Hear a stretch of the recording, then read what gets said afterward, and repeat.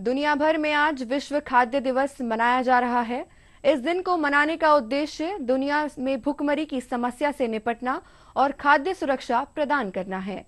इस बार की थीम है, जल ही जीवन, जल ही भोजन है।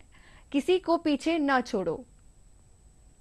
भर में आज विश्व खाद्य दिवस मनाया जा रहा है।